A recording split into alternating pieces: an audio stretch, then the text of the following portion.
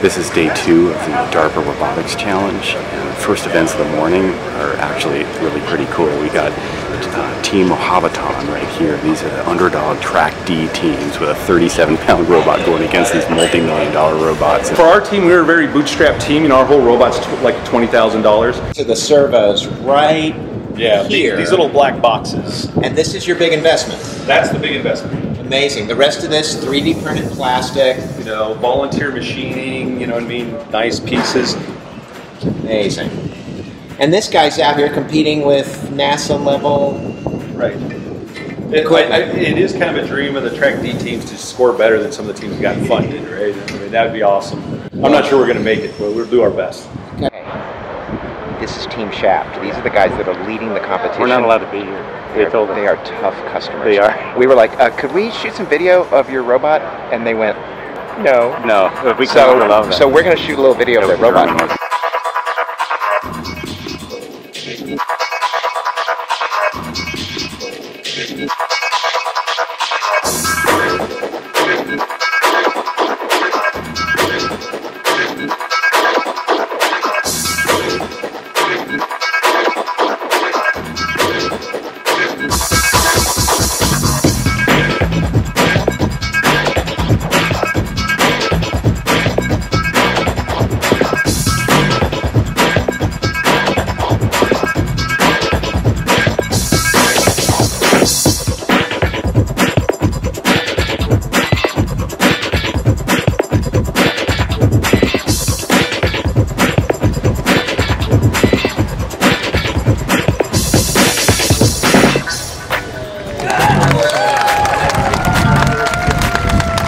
When you talk about these robots and their level of development, they're at about, uh, what are they?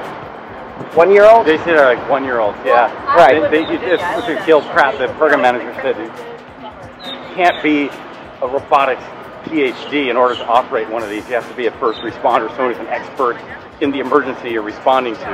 So So what- the robot has to, you know, understand what the guy wants.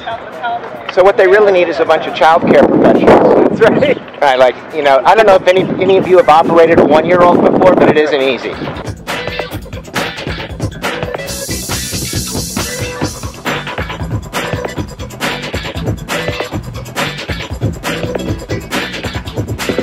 But you know, what if something happened tomorrow, right? What if something went south tomorrow, and they had to just go ahead and try? They would totally use these machines. That's all they got. Yeah, That's it. If they had to try, I mean, they would they would look through this this group of competitors and they would say, it happened today, they would send these things out. Yeah, they would try. They get all the teams out here.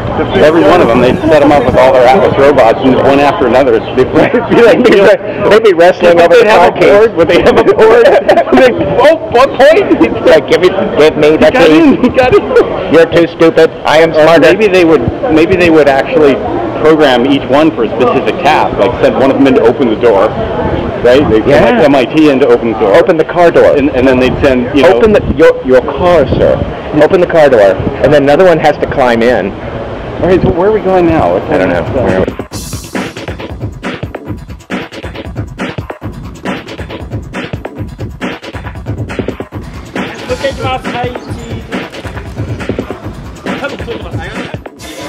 How would you compare the process of being part of this team to the rest of your uh, college education? So my university is not going to like the answer to this question, uh, but uh, so in all the years that I've been studying, so I, I'm a victory lap kind of a university student, so I'm, I'm five, six years into it at this point. In the three months over the summer that I worked on this project, I learned uh, orders of magnitude more than I have in, in school. So it, it's really driven me to, you know, I, I was considering going to graduate school and continuing my education, but after working on a project like this, considering how much that I've taken away from it, I'd much rather just go into the field and start designing things.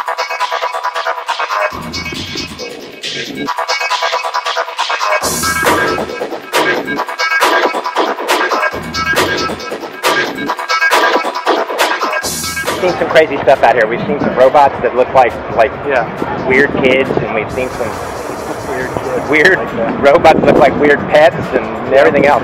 But I got something for you that's freaking hilarious. Okay, good, good. Are you ready for this? yeah. Kelly Michael, that I'm here uh, representing the International Committee for Robot Arms Control, which is the uh, oldest of uh, now 40 four or more organizations internationally uh, that are uh, part of the campaign to stop killer robots, which is a campaign that is now led by Human Rights Watch uh, and has made a tremendous amount of progress in the past year, in its first year. It's moved the issue from science fiction to uh, the global uh, diplomatic stage.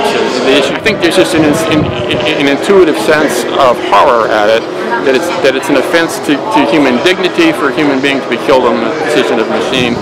That we're, on, we're at the verge of, of a new arms race at the strategic level, where these systems are not just, we're not just talking about machines on the street killing human beings. We're talking about missiles and drones being sent on missions against the strategic forces of, a, of, of, of, an opponent. We're talking about robots engaging each other in combat, drone versus drone, uh, robot sub versus robot sub. So we see the, the, the nascent U.S.-China arms race.